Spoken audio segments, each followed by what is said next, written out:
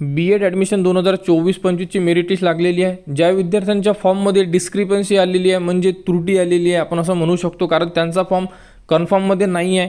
तर ते विद्यार्थी फॉर्म एडिट करू शकतात.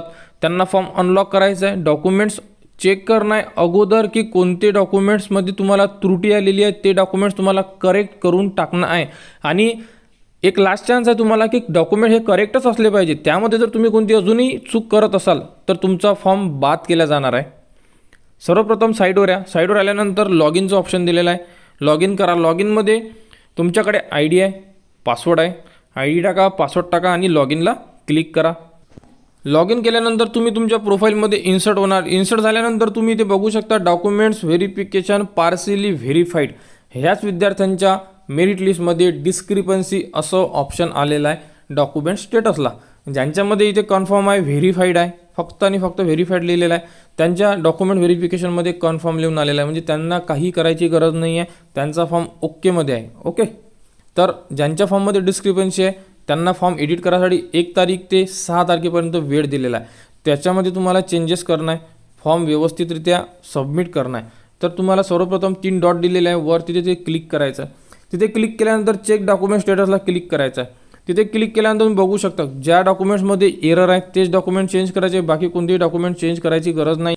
यामध्ये कोणत्या डॉक्युमेंटमध्ये प्रॉब्लेम आहे तुम्ही बघू शकता. रिजेक्टेड आहे non creamy layer invalid non criminal टाकलेला आहे. त्यामुळे या फॉर्ममध्ये एरर आलेला आहे. तर इथे दो एकतीस मार्च दोन हजार पंचवीसपर्यंतचं नॉन क्रिमिनल टाका अशा प्रकारे सांगण्यात आलेलं आहे रिमार्कमध्ये तुम्हीसुद्धा बघू शकता पहिले तुम्हाला हे चेक करणं आहे की कोणत्या डॉक्युमेंटमध्ये प्रॉब्लेम आहे आणि डॉक्युमेंटमध्ये इथे रिमार्कमध्ये काय लिहिलेलं आहे. ते चेक करणे गरजेचं आहे. ते चेक करा. त्याच्यानंतरच तुम्ही ती त्रुटी पूर्ण करू शकता. आता माझ्यामध्ये फक्त एकच त्रुटी आहे म्हणून मी इथे बघितलं.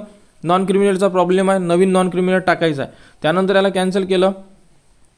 परत तीन डॉटला क्लिक केलं. त्यानंतर अनलॉक अप्लिकेशन फॉर्म आहे. इथे बघू शकता तुम्ही इथे अनलॉक अप्लिकेशन फॉर्मला क्लिक केल्यानंतर इथे चेकबॉक्स दिलेला आहे आणि इथे फॉर्म अनलॉक अप्लिकेशन फॉर्मचं ऑप्शन आहे.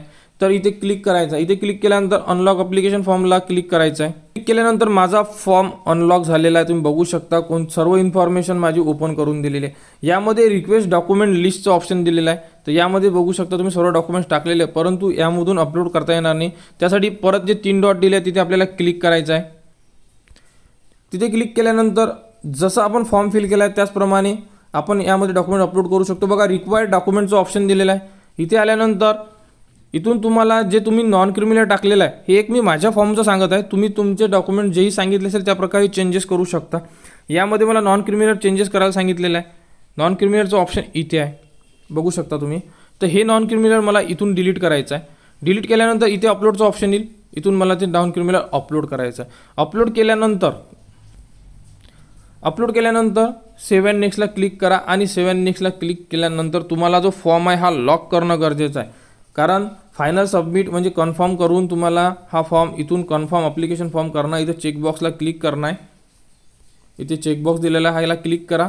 चेकबॉक्सला क्लिक केल्यानंतर खाली कन्फर्म अप्लिकेशन फॉर्म म्हणजे तुमचा फॉर्म कन्फर्म होऊन जाणार आणि सबमिट होऊन जाणार. सबमिट झाल्यानंतर तुमचे डॉक्युमेंट व्हेरिफिकेशन होणार आहे सात सात तारखेपर्यंत.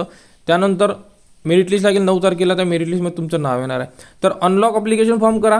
परंतु जे चूक आहे ते दुरुस्ती केल्यानंतर फॉर्म कन्फर्म कंप्लीट करणं गरजेचं आहे. म्हणजे तुमचा फॉर्म लॉक असणं गरजेचं आहे. जसं आता आपण अनलॉकचं ऑप्शन उपलब्ध झालं ना तसं ऑप्शन उपलब्ध दिसलं पाहिजे तुम्हाला की अनलॉकचं पण अनलॉक नाही करायचं फक्त तिथे असलं पाहिजे. म्हणजे अनलॉक दिसत आहे म्हणजे आपला फॉर्म लॉक आहे असं समजायचं. आणि साईडवर आल्यानंतरही तुम्ही बघू शकता की तुम्हाला तिथे तुमचा जो फॉर्म आहे कन्फर्म दिसेल.